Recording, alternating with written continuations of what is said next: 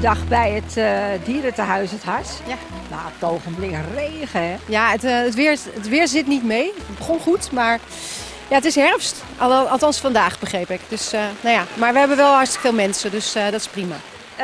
Je bent voorzitter hier van het van het dierentehuis? Of ja, van, hoort alles erbij? Uh, het is de Stichting Dierenzorg Eemland. En daar valt uh, het dierentehuis Het Hart onder, waar we honden en katten opvangen.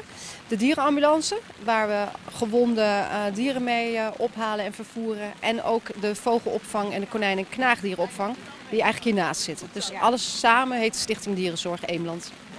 Is de goede gewoonte dat een open dag een thema meekrijgt? hoe is dat hier?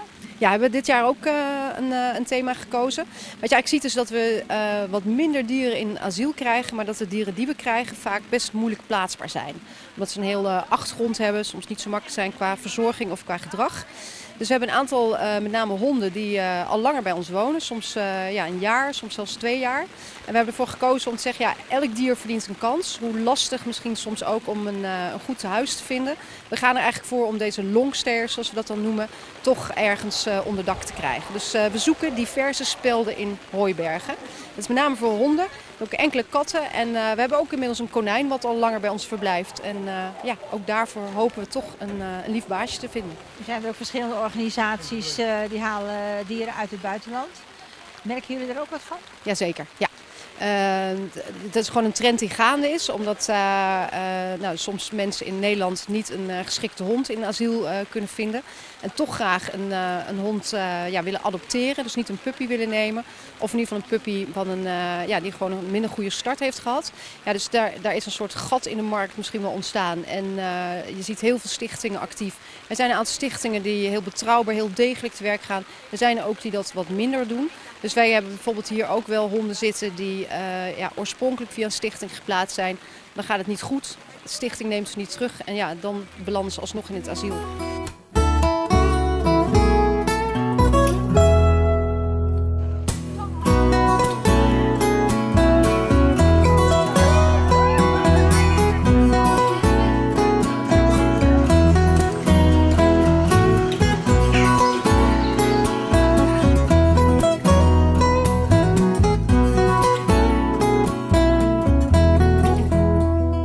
Ja, de dierenambulance is vanzelfsprekend ook aanwezig uh, vandaag. Wordt jullie hulp vaak ingeroepen? Ja, wij uh, rijden 24 uur per dag, 7 dagen per week. En uh, elke dienst is verschillend, maar gemiddeld ben je wel een flink aantal uur van die 24 ben je op pad. Ja. ik neem aan dat de mensen twee aan twee op de bus zitten? Veel mensen die rijden als, als een stelletje. We hebben ook chauffeurs die rijden alleen. En in principe heb je de ambulance bij jou thuis staan en je hebt een telefoon bij je. En uh, word je gewoon opgeroepen en dan ga je op pad. En uh, sommige mensen die gebruiken de vogelopvang waar we ook nu vlakbij zijn als thuishonk. Want dat hebben we niet zelf als ambulance. En daar kun je even een kopje koffie, een kopje thee drinken. En dat heb je af en toe ook echt hard nodig als je een ochtend hebt lopen rennen en vliegen en kruipen onder hekken door en door sloten heen, zeg maar. Uh, maar jij bent ook coördinator, hè? Ja, ik ben uh, ook coördinator. We hebben een, een, team van vrijwilligers. Het houdt nog niet over, dus mocht iemand zich aangesproken voelen, je zoekt nog een leuke vrijwilligersjob, meld je vooral bij ons. Het is ontzettend dankbaar werk, maar je krijgt er ook een hele hoop voor terug. Ik denk minstens zoveel als dat je geeft. ik, ja, ik zorg ervoor dat mensen ingeroosterd worden, dat mensen opgeleid worden, samen met elkaar voor je team. En ik rij zelf ook nog gewoon vrolijk mee. Ja. Nu is deze bus al wat ouder. Oud kan ik misschien niet zeggen, maar ouder. Ja. Maar hij rijdt ontzettend veel. Ja, op een gegeven moment ben je aan een nieuwe toe. Nou, dat uh, klopt, Ans. Uh, hij heeft zo'n uh, 2,5 ton gelopen. En het zijn ook vaak korte ritjes. Dus eigenlijk wordt zo'n auto niet heel liefdevol behandeld. En uh, hij, is, uh, hij rijdt op zijn laatste nou ja, nou, ja, wielen. wielen. Ja, letterlijk. Uh, dus we zijn heel hard aan het sparen voor een nieuwe ambulance. Want ja, binnenkort houdt het echt op met deze. En dan zijn de reparaties gewoon zo, zo kostbaar dat het voor ons ook niet meer te doen is. Dus we gaan heel hard sparen voor een nieuwe. Alle giften, donateurs, mensen die willen bijdragen. Ja, meer dan welkom.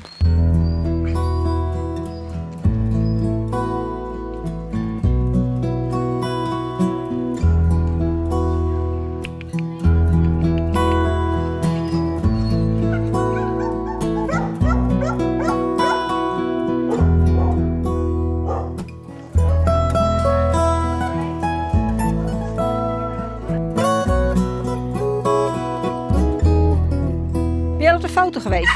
Ja, En nu ben je bij de honden aan het kijken. Heb je zelf ook een huisdier? ik heb vi- vissen. Vissen. Beetje makkelijk verzorgen, denk of niet? Ja, ja, Wat zijn het voor vissen? Goudvissen? heel veel vissen. Ja. Heel groot aquarium misschien. Ja, En wie zorgt daarvoor? Doe jij dat of eh doen je ouders dat? eh, wij alle vijven. Nou je al die hondjes ziet, denk je dan, eh, een hond is ook wel leuk of niet? Of denk je gewoon alleen even kijken? Alleen kijken. Helemaal niet dat je zegt van ik wil een hond? Wel. Ik ben een hond.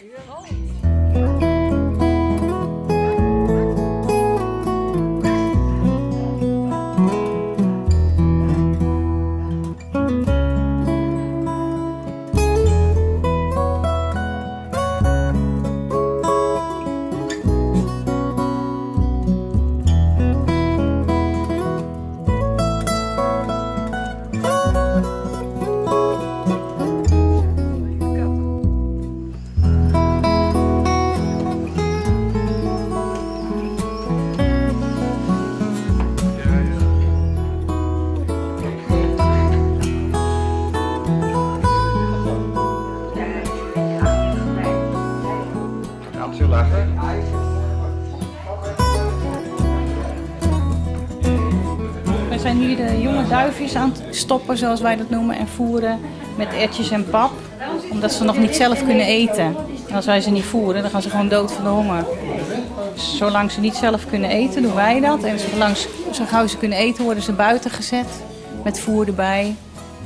En eten en drinken. En als ze dan kunnen vliegen zelf en kunnen eten, dan worden ze weer vrijgelaten.